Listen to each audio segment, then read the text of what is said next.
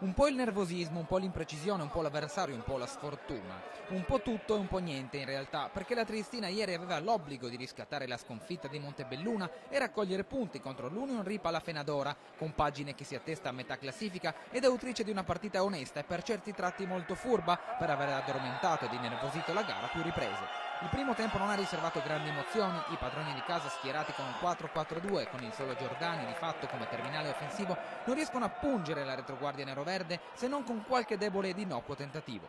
Gli ospiti intravedono gli spazi giusti per potersi inserire fra le linee difensive dell'Unione, ma solo al 34esimo concretizzano mandando in gol Madiotto che con un colpo a giro spiazza il portiere Vezzani. L'Unione tenta la reazione, ma anche in questo caso è poco incisivo il forcing innescato dai ragazzi in maglia rossa.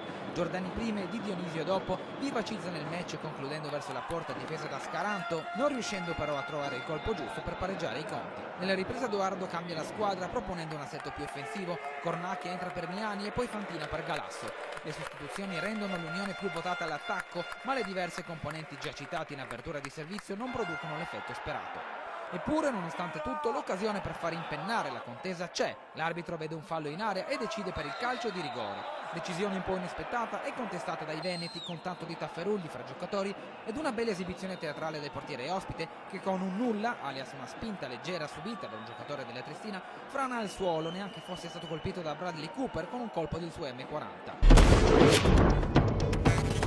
Ma battute a parte, il portiere Scaranto è bravo poco dopo ad ammagliare, o meglio ad intercettare, il tiro dell'avanti rosso allabardato e neutralizzare il rigore. Domanda per gli esperti, è stato più bravo il portiere o ha calciato male Giordani? Ma proseguiamo, perché dopo il rigore fallito l'Unione ci ha provato ancora, soprattutto nel finale, quando per doppia munizione di Peotta, e siamo al 42esimo, l'Union Ripa rimane in 10. La Trestina però non ha colpi al suo fucile e si avvia al triplice fischio con un pugno di mosche in mano.